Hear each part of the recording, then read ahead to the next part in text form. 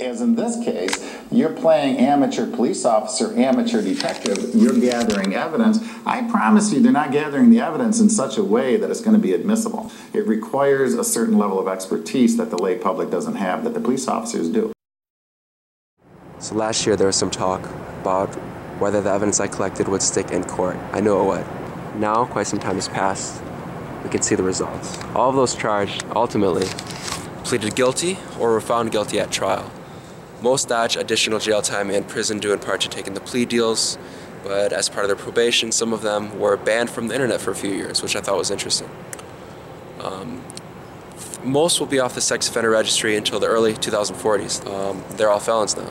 So, life goes on, and I'm still pretending to be an underage boy or girl online. I've been doing this for quite a while now, but more recently I've been posing younger and younger and younger. 7, 8, 9, 10 years old, as opposed to 13, 14, or 15. And what I found is that most predators treat me the same as if I say I am a young teen, um, when I say that I'm prepubescent, and that is deeply more disturbing to me that uh, a lot of men and women out there are uh, willing to do this to, to someone so young um, and be unfazed by that. Let's talk about female predators for a second, okay? They're out there. Um, I dealt with one. I dealt with one um, who she was pretty attractive, uh, but physically, but but really really ugly. Okay, I don't care if someone is good looking, right? If they want to have sex with a kid, then that is, that's irrelevant. There's a huge stigma in our society about that right now. Ladies charged with statutory sex crimes. How should they be treated any different from the public than uh, men charged with the same crimes? They shouldn't. The, the public reaction should be no different. Um, but from my experience, female predators aren't as ubiquitous as male predators online. Uh, they just aren't. I believe most female predators prefer a much closer bond to their victim, someone they already know, um, as opposed to some boy or girl that they meet online. I want to do a, a separate video, a more polished video about that later, um, because I really want to talk about manipulation and the all the facets that, that come with the art of manipulation. Things to look out for inside the mind of an online predator and how they go about getting what they want. Um, it requires some level of skill on their part, and uh, therefore it requires uh, a lot of vigilance on ours, because some predators are um, more cunning than, than, than others. And in sensitive circumstances, I, I, I, try to be very careful in, in what I what I show you because um, you know, some predators are watching, they're taking notes, and a, a very few, um, only a small minority of, of predators are actually adapting, like uh, like a superbug would be to antibiotics. It's it's a difficult discipline for me because I want to show you guys a lot, but I, I simply can't. We have creeps watching this. Uh, a, a fatal mistake would be to underestimate the intelligence of any predator. Some people are quicker than others, right? And they want to evade. They know what the consequences can be, and they're willing to go to great lengths to try to avoid those consequences and not getting caught. And so uh, they still want to do their thing because there's there's something there's something wrong. In any case. If you're a predator and the little boy or girl you think you're talking to says, let's meet at Taco Bell, you better run. With the amount of attention my channel receives today, it would be foolish to reveal predators' identities while they're free, potentially leading them to destroy evidence of other crimes they've committed. Once they know they're exposed and during an investigation, they could very well destroy evidence, and I don't want to be the catalyst for that. Some, if not all, of the people I'm dealing with now have histories. Them trying to have sex with me posing as an underage girl boy could very well be the tip of the iceberg to a much deeper skeleton closet you're about to see. When I first started talking with predators, I was, I was very progressive in this idea that wouldn't that be cool if, if these predators could get help so that they wouldn't victimize children? Wouldn't that be cool if, if we could really get to the root of the problem and professionally help these people somehow, some way? Um, and I remember the naysayers saying, you know what, these these people they cannot be helped. You know, I was I was that guy who would say, you know what, maybe they can. You know, because that would be revolutionary, right? If we could really get down to the nitty gritty and, and why what compels these people to do what they do and what we can do to stop it as a society, that would be so great. But through experience, the more I talk to these people, the more I realize that I just don't see it. I think at this point it would be wishful thinking to think that someone that brags to me, thinking I'm an underage girl, that brags to me about how many other other underage girls they've been in contact with, how many other underage girls they've had sex with. Honestly, they just don't care. They don't care about getting help. They they just want one thing and one thing only. You know, they're not they don't want help. I mean, it's it's almost it's almost unreal. The last the last few predators I've talked to, their stories about what they've done before is just unbelievable. Um, just these these these old men bragging about having sex with little kids. Oh, met this little girl at a pool party. We had sex. Um, it's just like you think this guy is really gonna get help. There's no way.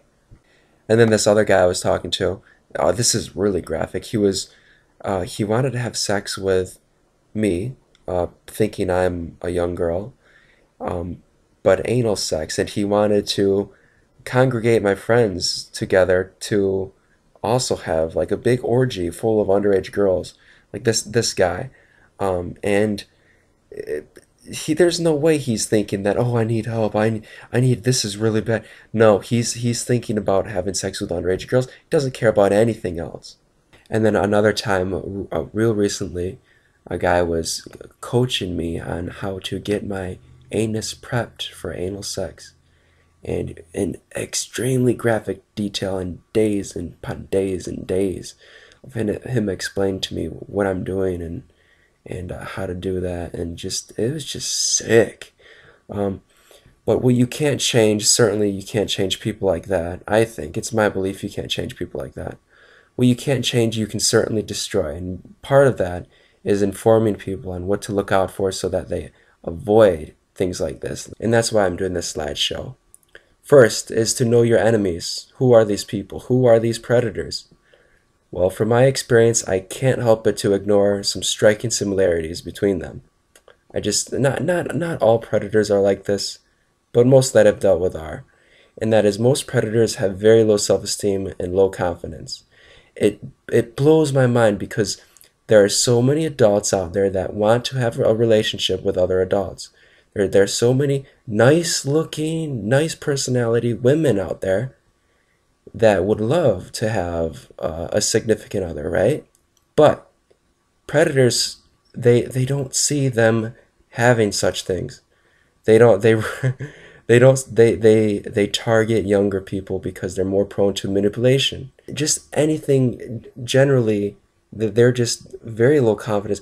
They may act very supreme and they may act like they're they're really they're really confident. And it comes off as cocky too when I'm when I'm talking them pretend to be an underage girl. I see a lot of cockiness and also a lot of yeah, there's there's sick people. Anyway, I can see right through their arrogance and deep down they know they're losers, but behind a computer screen they think they're the best thing since sliced bread. Also very analytical. It's weird because some of them are pretty stupid, others are pretty smart, but mostly all of them. I mean, even if they're smart or stupid, most of them they they think and they think really really deeply.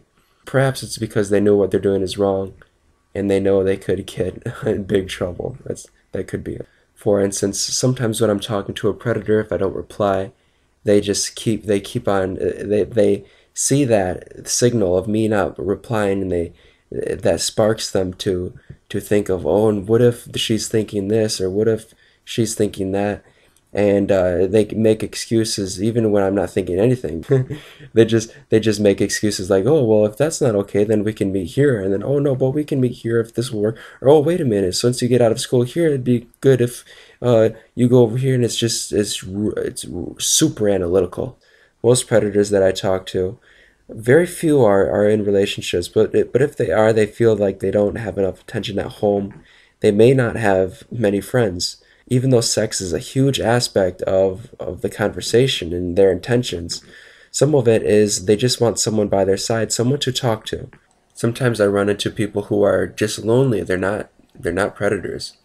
Uh, this happens. They even though it's weird that you know an adult would want to talk to an underage boy or girl online in their free time all the time.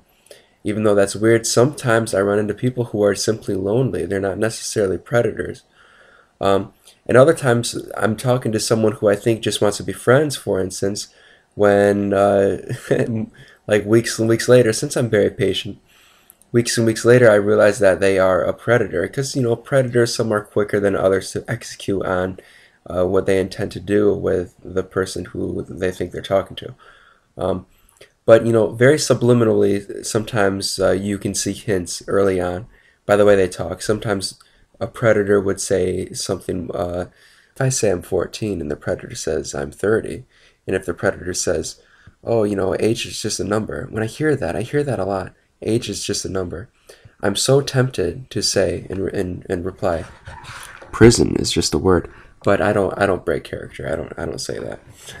when I'm talking to a predator, I think I let alone them thinking that they're talking to an underage kid, I, I think that oh my gosh, how can ones be so so aroused? It's just they are so so horny. It's ridiculous it's just ridiculous that they're they're talking to they're spending all their their free time talking to who they think to be an underage kid about about all sorts of these these uh, some of them have really really different fetishes too um, but besides that it's just incredible how sex crazed they are it's just ridiculous it's like it's like that's all they ever think about uh, every day every minute every second it's like that's all they're thinking about it's a predator will say like, "Oh, what did you have to eat?" And then I'll be like, "Okay, cool, finally, we're talking about something." And then it just like immediately it just evolves into a, a sexual conversation. It's just like, "Oh my god, like, can you take a break from that?" But uh, no, it's it's on their mind like hundred percent of the time. It feels like. But really, you know, I, I've tried to figure this out as much as I want to figure this out. I know I shouldn't because like really what's the point in knowing what what is inside the mind of, of a predator of course we want to know because we want to solve this issue if that's possible that way um, but you know sometimes uh, studies have shown that people who are victimized are more likely to victimize other people than people who are not victimized for instance of course that's not it'd be a fallacy to think that's that's that that's you know widespread and certain a certain fact which it's not um, but really there are so many factors. I have no. It, it could be. It could be genetics. It, it could be. Uh, could be all sorts of things that we don't know yet. But regardless, whatever their backgrounds are, in my opinion, it doesn't matter. It really doesn't matter, uh, because it's what it's what they do. You can be, you know, you can you can be the worst predator ever. I don't care about how bad your past was. I don't care about that. No one should um, if you're willing to, to do really, really evil things to children. I don't care about that. I don't care about you. Because what predators do is directly through choice. It is not because of how bad they had it as a kid being victimized. It is not how bad uh, they are at at uh, at women or or or it is not because of how low their self-esteem is. It has nothing to do with that. It has to do with how they actually act, how they deceive. Countless times I am told lies. Predators telling me that, for instance, they are much younger than what they really are, for a couple reasons. The first reason I see this more commonly is they lie about their age, they pretend to be much younger, closer to the, the victim's age, so that they won't they think they won't scare off the underage boy or girl. I see this all the time. It is a way to relate to the person to gain friendship, which is more it's more it's it's more of having a congruent age. Um, but another another case I've seen was predators lying about their age because if they think that I could be someone undercover, someone looking to bust them, they think that if I if I lie about my age, then maybe maybe if this person is someone that is looking to get me in trouble, someone who really isn't an underage boy or girl, then they'll back off if if they think that I am 14 as well for instance. But it doesn't work that way because sometimes when I'm talking to someone who I don't know to be a predator, it takes a while to figure out at first.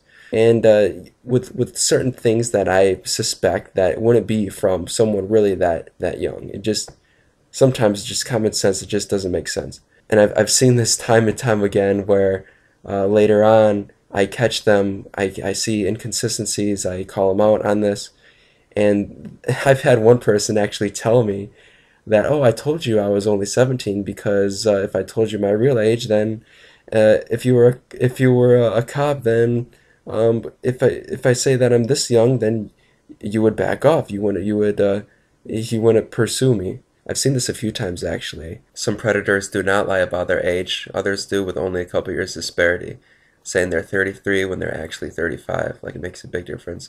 Also, some lie about their physical appearance or abilities. You know, they may say they have a six pack when I can tell that they probably don't. they want to appear as attractive as possible. They want to appear so great. And so, of course, they're going to lie. They're not going to say that, oh, yeah, I have a beer gut. Oh, I sit on my butt all day. No, no. Instead, they're going to say, I have a six pack. I go to the gym. I'm there all the time. So it's it, a total illusion, is was what it is uh, to gain the, the victim's admiration, I guess. It's very common to, for them to give me photos of themselves from many years ago or photos uh, of some some other guy that uh, not them that they try to pass off as them.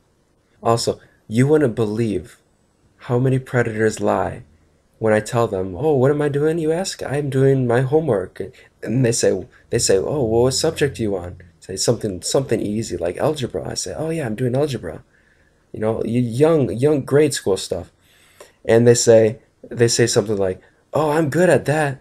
I say, okay, can you help me with these matrices? And it's it's it's like they have to look it up themselves. Like, oh, guy, you're gonna help me, right? And it's it's like they don't know what they're doing, but they pretend they they totally pretend under the guise of of of them being so smart. They pretend that they know what they're doing when when really it, they stink at math. Perhaps he's one of the five out of four people that have trouble with fractions. This is a big one.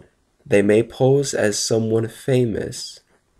Now this this is all over. You probably you've probably seen this on the news recently. Um, there was a news story about this guy in Australia who was pretending to be Justin Bieber online. And check this out. He had hundreds of girls these girls, young girls, really thought they were talking to Justin Bieber. The, the predator convinced these girls that he was Justin Bieber somehow, in some way, and uh, received a ton of nude photos of all of these underage girls. Think like 900 or something, and um, over the course of several years. And uh, this happens. This happens all the time because if you can fool someone that you're somewhat famous and that oh my gosh and suddenly they're thinking that they're talking to their idol they're gonna they're gonna be like sheep and they're gonna they're gonna do what what uh, is ordered to them and it's just it, it kind of it baffles me even the police were i saw the press conference the police were shocked that, that they had so many victims in this case um, but really i mean some predators are good and i see this time and time again where these predators pose as someone they're not really someone that they're not and uh, that's where a lot of victims uh, can can it's really bad. Groom, build trust and become friends. First of all, it really depends on the predator how long they want to take it before they start talking sexual. Sometimes uh, I I don't know if they're a predator, like I've said before. Um, it, it takes a while sometimes. Other predators, they get right into it, but some others are patient and they want to uh, groom the victim. They want to butter up the victim to what's going to come and a lot of times this involves complimenting the victim and and uh, just giving the victim so much attention. So now the states of of these victims sometimes they're emotionally vulnerable, they're lonely as well. Could be um, they may be going through some hardships at home. You know these are young people, and so they deal with challenges as any young person does. And when you have an adult that comes around that that gives so much attention to to this victim, then uh, they're looked at as a confidant, someone they can talk to, really close personal matters. Exclusivity is, is a huge part of the grooming process. This friendship bond transforms into something that is secretive, something that uh, is is just from it goes from small talk and then it goes to talking about more more personal things, and uh, talking about maybe some sexual curiosities, which I'll I'll get to in a second. Um, but it's more of hey, keep this a secret. Um, but uh, tell me what what like what what you like doing or like what do you do in your spare time? And um, the predator is often very dependent on on the person and uh, expects the the victim to be dependent on him or her as well.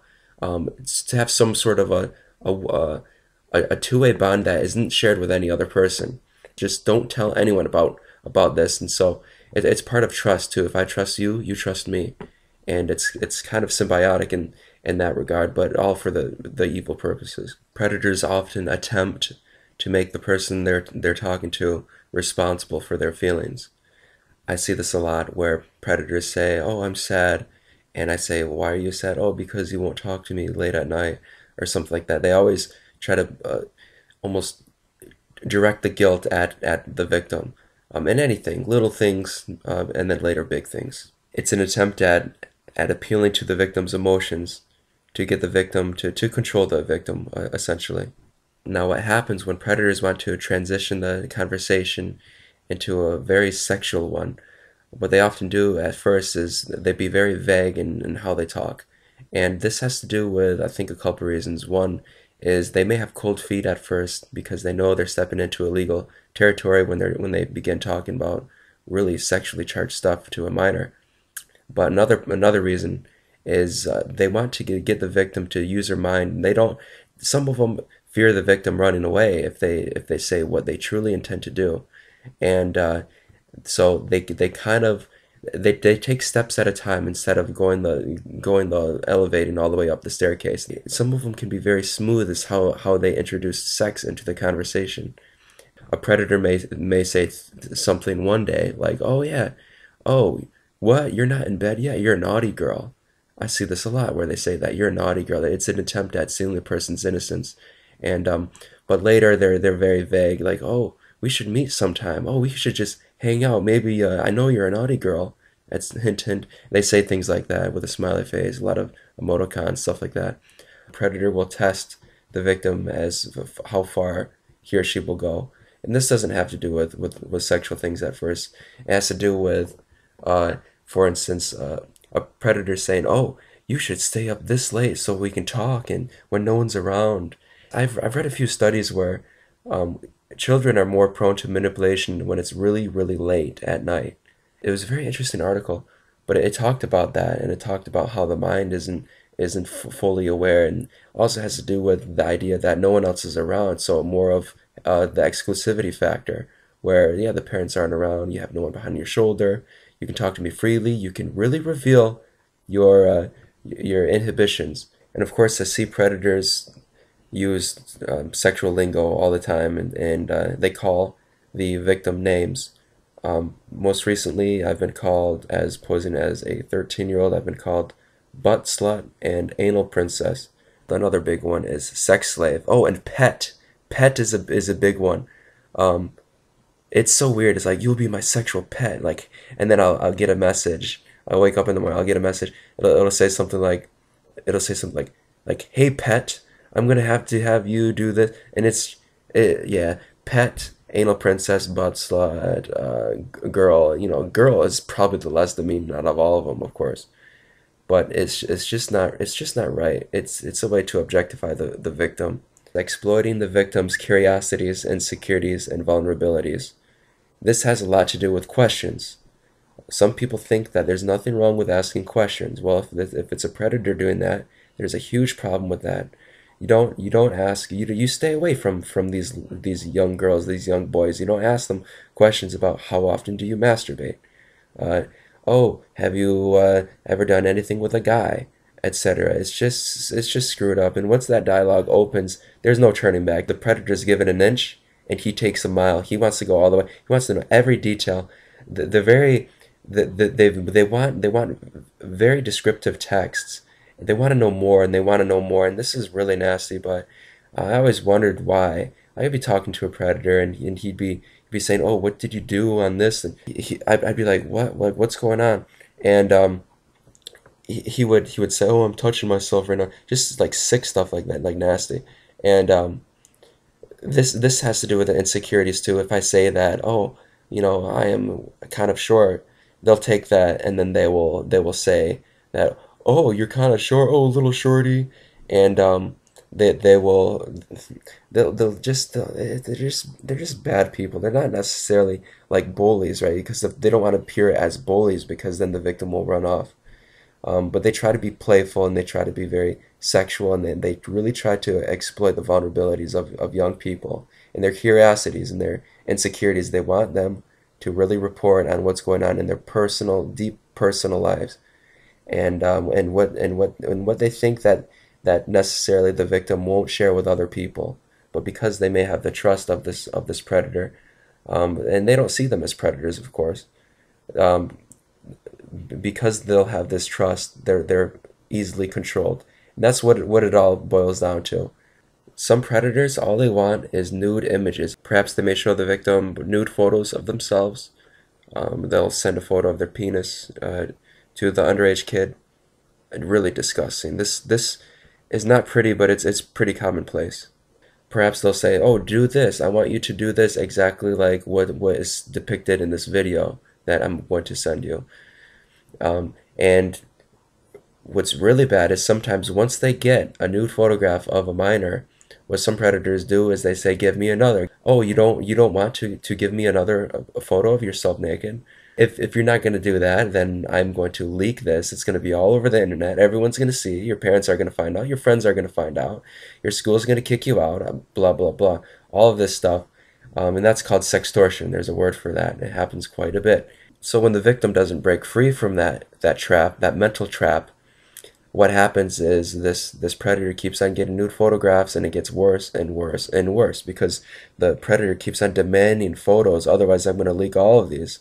Oh give me one more. Okay now i have five of them. If you don't give me the sixth one then i'm going to uh, release these five and then it just goes higher and it just accrues and accrues and accrues. And that is those people should be shot. Or in prison. Just they're, they're such a threat. There's such a threat to minors that they need to be stopped by any means necessary. I don't want to advocate extremism or anything like that. So I guess disclaimer that was uh, uh, hyperbole, but okay, it wasn't. I don't. I'm really don't. I don't really don't like these people. Some predators just want nude photos of children. Others want to meet for sex. Some want both. The people that do want to meet for sex, some of them back out because they're too afraid some of them actually follow through with, with trying to meet children for sex. A lot of times the predator will imply that early on, hey, we should meet in real life or we should hang out. Again, it's very vague how they say this sometimes, but some some other times it's pretty obvious. Prerequisite things that that are mentioned, like uh, do you have protection? Things like that. Oh, I don't want to be pregnant. Don't worry. Don't worry about me. You know, I'll I'll I'll be careful. It's things like that.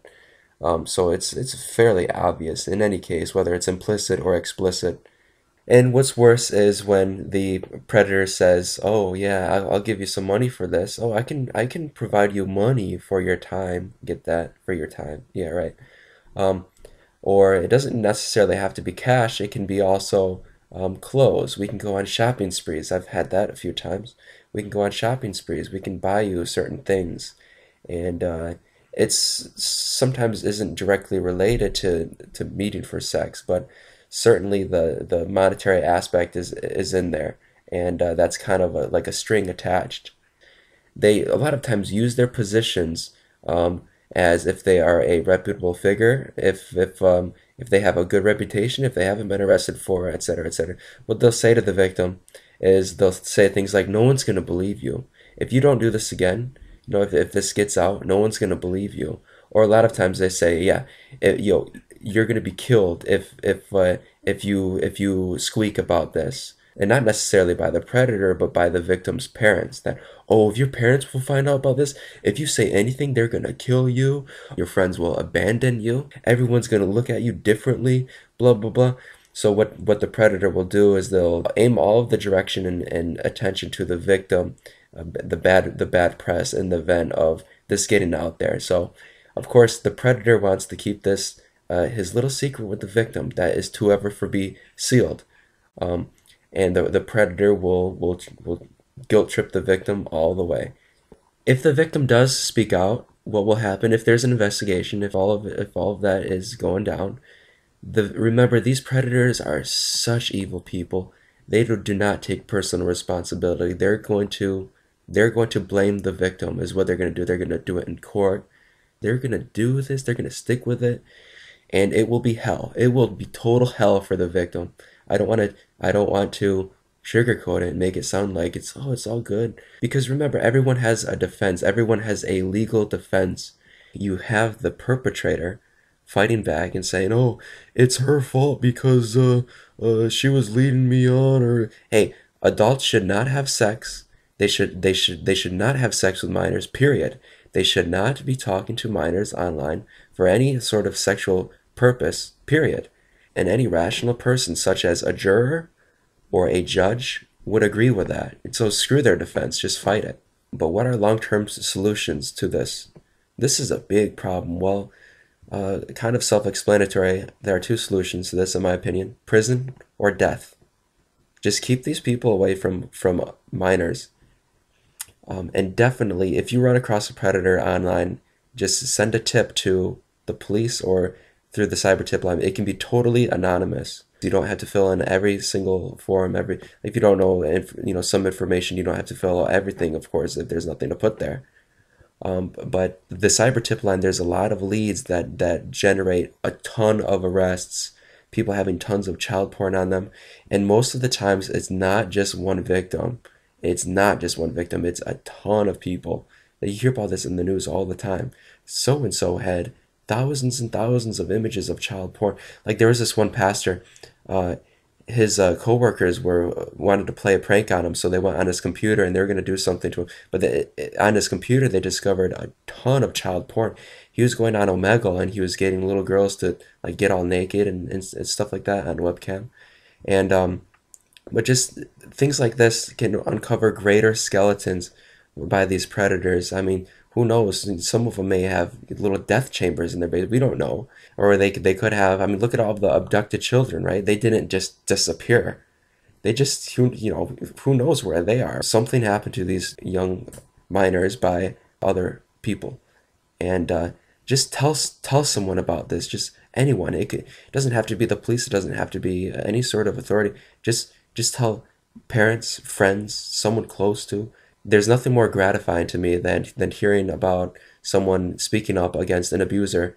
And uh, that's the hardest part is speaking up. But then once once that happens there's a train of support that that follows with that. So don't think it's all doom and gloom but it's a pain nonetheless. It is a pain uh, to to really go through the the the process of coming forward against abusers and sticking out with the prosecution which helps it completely helps if there if there's a, a, face to the allegations, uh, a name, um, and and getting these guys behind bars, that totally helps. I've spoken to the prosecution about this, um, but more on this, a ton more on this later on, on how to speak up because it is a process, and it, it there is there is some information that I think you would find helpful.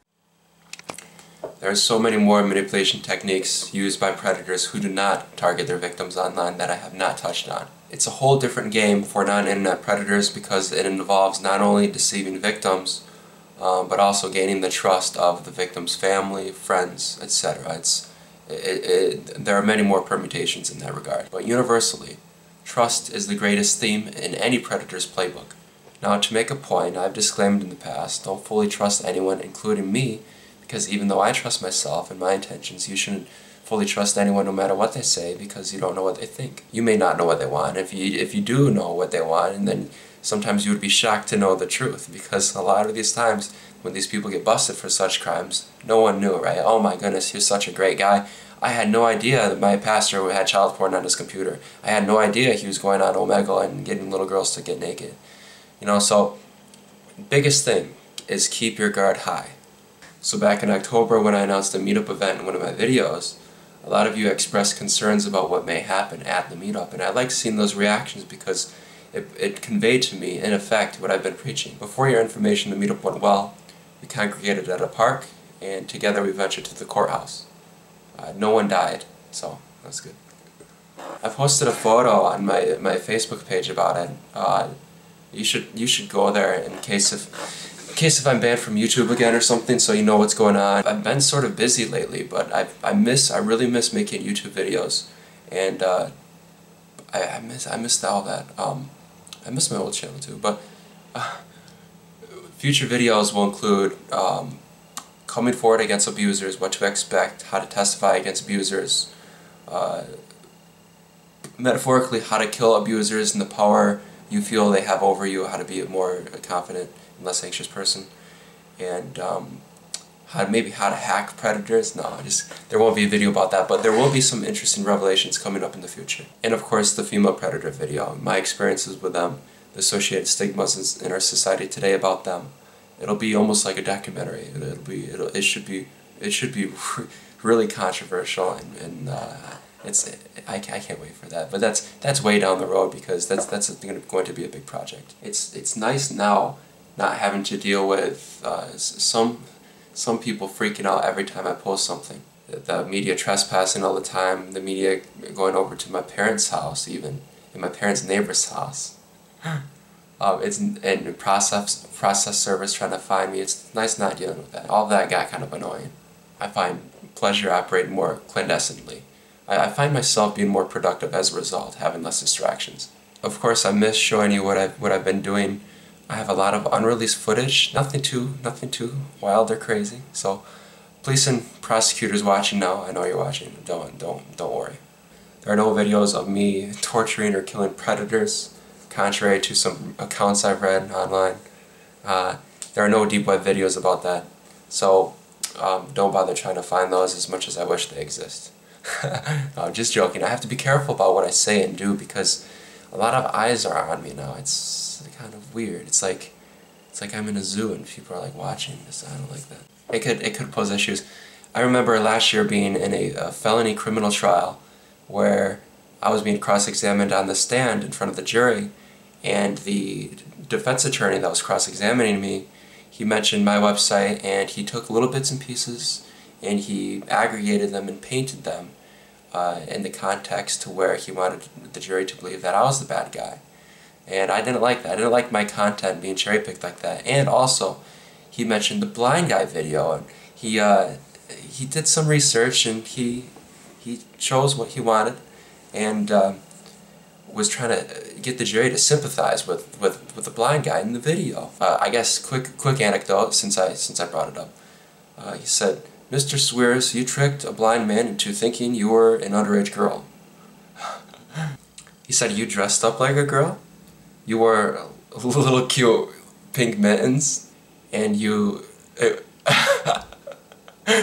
you had a, you had a you, you were even wearing a bra is this true, Mrs. Spears? Uh, I was wondering why the why the prosecution wasn't objecting uh, to these comments by the defense attorney because um, it had nothing to do with the case at hand. This case wasn't about the blind guy. Um, but looking back, it was it was a good idea on their part because it showed that I had nothing to hide if, if I had to field all these questions and show that I had good intentions. You know, and then let me make that point to the jury. But the defense attorney wanted to make the point that I took advantage of this man because he was disabled and that I was wrong because I was uh, uh, mentally fooling around with a, a, a legally blind man. Um, but when the substance of the case was almost being censored, it was like, let's talk about that. Right? Of course, the defense attorney didn't want to go there, but I did, you know, since he brought it up. In a real condescending manner, uh, the, the attorney, he, uh, you know how when, when someone, when someone looks down on you, so to speak, they, they have their glasses and they go like this, like, like, I'm like, you really did that? He looked at me like that and he said, a blind man you did this to a legally blind man. In my reply to that, I wanted it to be powerful. Um, I wanted the jury to understand that, that yes, the man was legally blind. He could see a little bit, but he couldn't see a whole lot. Um, but who cares if he's blind if he wanted to have sex with a kid, right? I wanted, I wanted to say that as concisely as possible and as quick as possible, because I know he'd object to it. I thought, okay, I'm, I'm going to do this, and I'm going to kind of drop the bomb on the guy. I said, yes, sir, I did that, yes, I knew he was blind, but he was a bad guy. He sent me a photo of his penis. As I said penis, the attorney didn't want the jury to hear that, right? Because that totally just destroys, totally destroys him wanting to make the argument to where I'm the bad guy, right? I'm not the bad guy. The blind guy's the bad guy. As I said penis, that he screamed, objection, objection. He did not like that. It was too late because I got it out.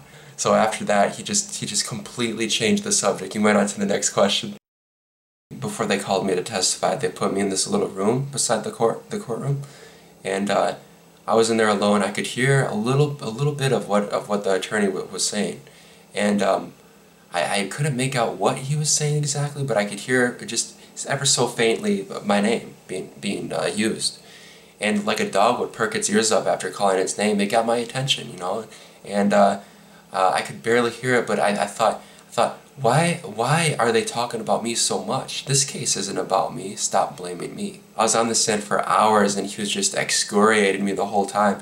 And uh, it was it was rather it was it was so intense, but um, I because I had to think the way he worded his questions, they were meant to screw you over. And so when he would ask a question, I would have to think, oh, okay, if I say this, how is he going to take that and then build off of that and go somewhere else with it? And uh, I, I, you had to see these coming from a mile away, and it was just almost exhausting. It was like, oh my gosh. Uh, but it was hours, but it felt only like a few minutes being on the stand. It was, it was pretty, it was crazy. Anyway, there seems to be a community effort and people trying to locate that video, 55 minutes long, where I pretended to be a 14-year-old girl, um, met with a legally blind guy, he tried French kissing me on the couch, um, then I berated him in the stairwell and left. um, I assure you, don't worry, someone has it, the police do, in an evidence locker somewhere. Now if you also have that video, please do me a favor and do not share it. Um, I, I, don't, I don't really want my mom seeing that, it's kind of messed up. no, new video in 2018 probably. No, I don't know. Whatever works.